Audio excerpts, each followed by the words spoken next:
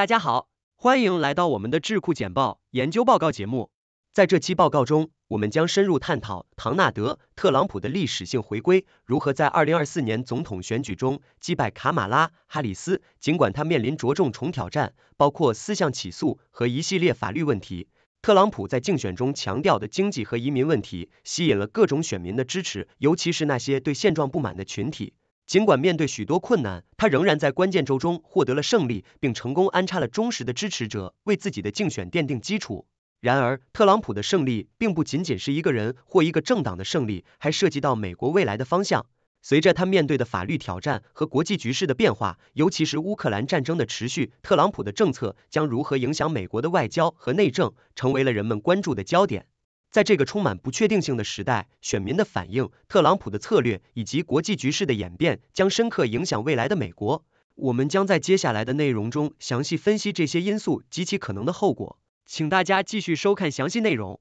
文章的内容来源于 CBS News、American Enterprise Institute 和 Foreign Policy，三者共同探索了唐纳德·特朗普在2024年总统选举中的胜利及其可能的影响。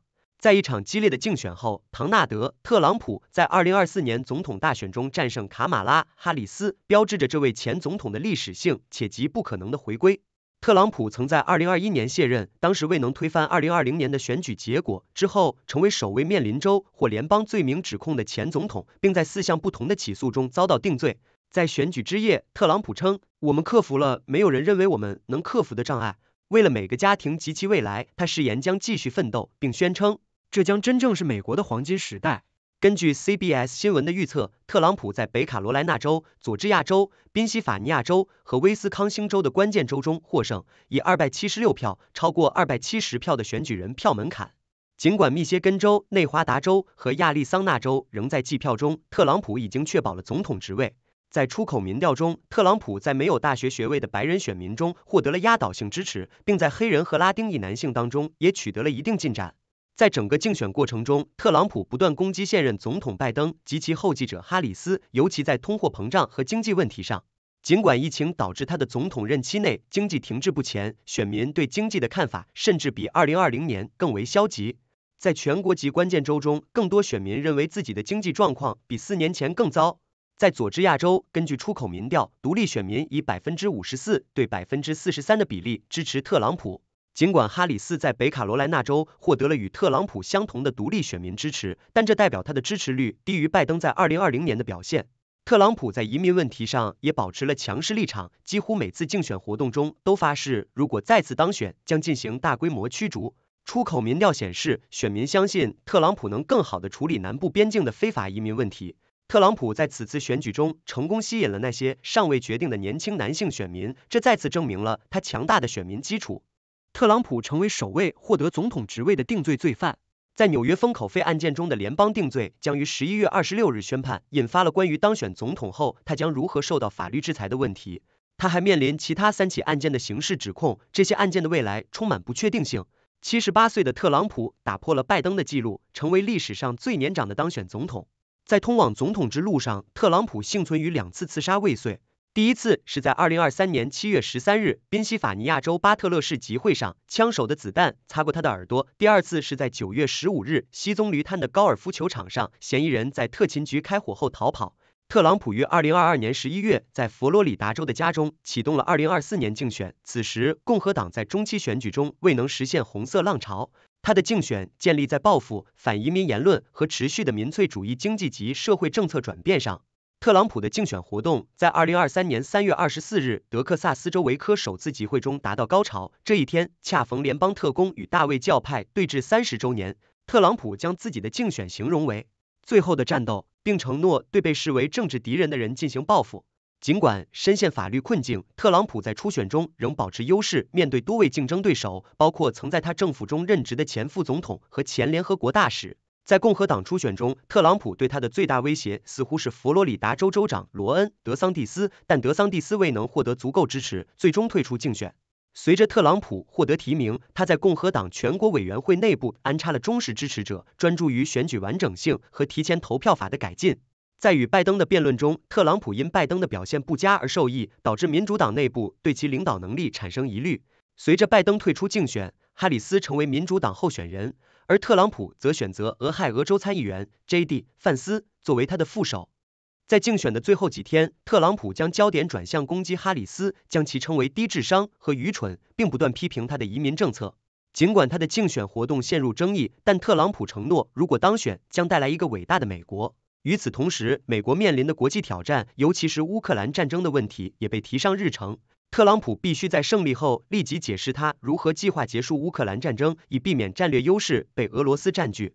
乌克兰的情况严峻，尤其是在基础设施被破坏、能源危机和俄罗斯战略的压制下。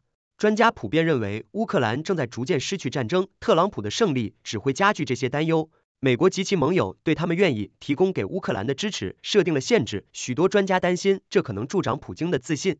即便在和平协议的情况下，允许俄罗斯保留其侵略的领土，也被视为不利于长期和平的因素。美国的失败将被视为对其全球信誉的重大打击。尽管特朗普在竞选期间对普京持有积极态度，但他需要明白，乌克兰的失败将对美国及其盟友产生深远的影响。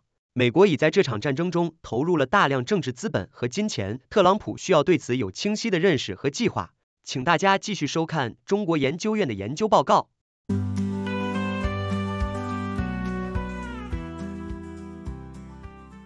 特朗普胜选对移民、堕胎、税收和民主的影响分析摘要。本文从移民政策、堕胎权利、税收改革和民主制度等四个方面，深入分析了特朗普若在二零二四年美国总统大选中胜选可能带来的影响。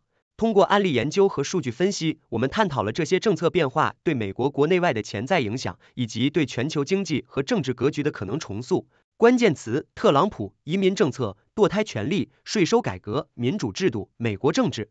一、引言。特朗普在二零一六年至二零二零年担任美国总统期间，其一系列政策引发了全球关注。二零二四年若他再次胜选，将对美国和全球产生深远影响。本文旨在从专业角度分析特朗普可能实施的政策及其影响。二、移民政策的可能变化。二点一历史回顾。特朗普执政期间，美国的移民政策经历了重大转变。他倡导美国优先，强化边境安全，提出修建美墨隔离墙，推行零容忍政策，导致非法入境者被拘留和遣返。二点二可能的政策措施。二点二点一加强边境管控。预计特朗普将进一步加强边境安全，包括增加边境巡逻人员，使用先进技术监控边境，提高非法入境的难度。二点二点二修改移民法案，可能推动国会通过更严格的移民法案，限制合法移民渠道，例如家庭团聚和庇护申请。二点三影响分析，二点三点一对移民群体的影响，加强执法可能导致移民社区的不安全感增加，打击非法移民的力度加大，可能引发人道主义危机。二点三点两对经济的影响，根据美国商务部数据，移民对美国 GDP 的贡献约为百分之十四。收紧移民政策可能导致劳动力短缺，影响农业、建筑业和服务业等依赖移民劳动力的行业。二点三点三社会融合挑战。严格的移民政策可能加剧社会紧张，增加种族和民族间的矛盾，不利于社会稳定。三、堕胎权利的前景。三点一法律背景。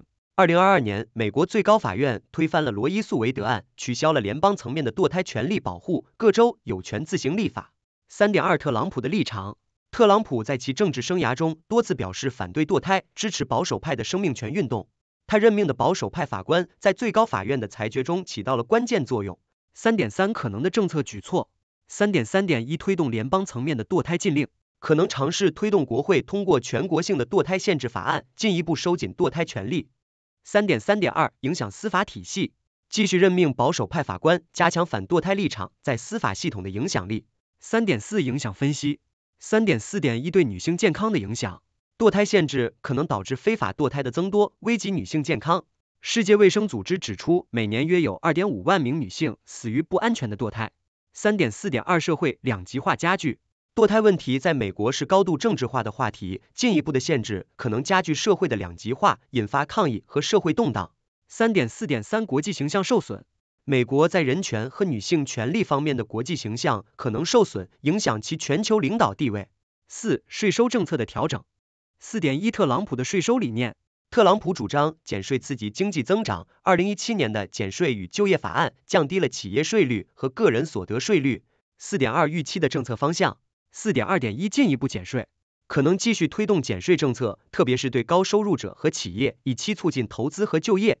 四点二点二调整税收结构，可能通过削减社会福利项目的资金，平衡减税带来的财政赤字。四点三影响分析。四点三点一对经济增长的影响，减税可能短期刺激经济增长。美国国会预算办公室 CBO 预计，减税政策在二零一八至二零二零年间对 GDP 增长的贡献约为百分之零点七。四点三点两对财政赤字的影响，减税可能导致联邦财政赤字扩大。CBO 预测，减税政策将在十年内增加一点九万亿美元的债务。四点三点三收入分配不均。减税的收益主要集中在高收入者，可能加剧收入不平等。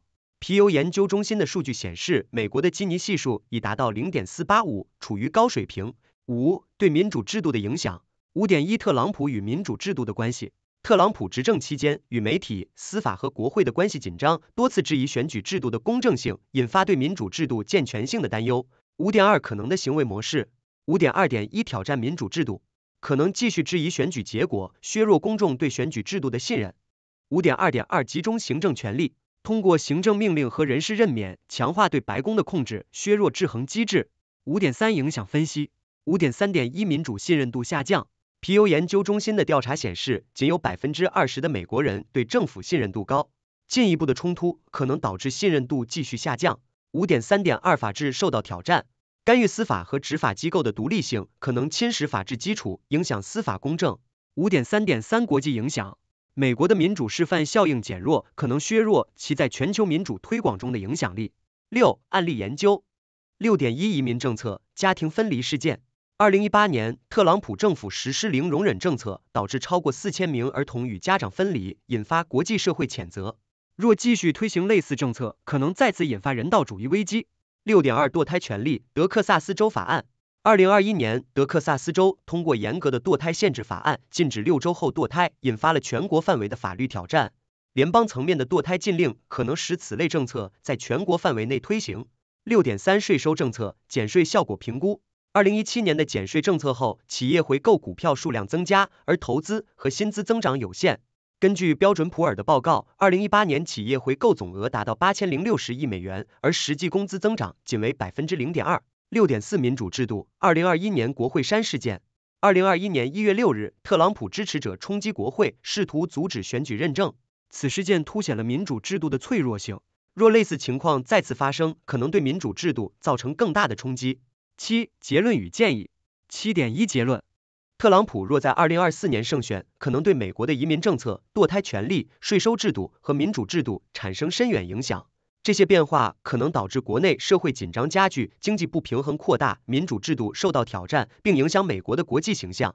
七点二建议，政策制定者需要权衡政策的短期收益和长期影响，确保政策的可持续性和公正性。民间组织加强对弱势群体的支持，促进社会公平与和谐。国际社会持续关注美国政策变化，评估其全球影响，加强多边合作，维护国际秩序。参考文献：一、美国商务部数据；二、世界卫生组织堕胎安全性报告；三、美国国会预算办公室 （CBO） 财政预测；四、皮尤研究中心调查报告；五、标准普尔企业回购报告。作者：中国研究院。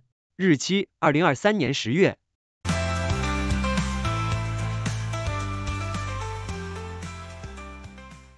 想先驱报，成为有洞察力的人。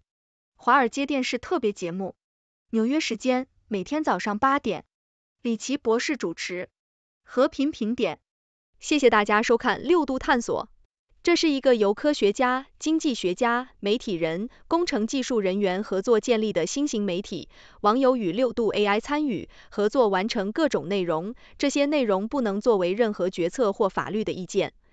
这是一个新型的试验性媒体方式，我们希望得到大家的支持，修正错误。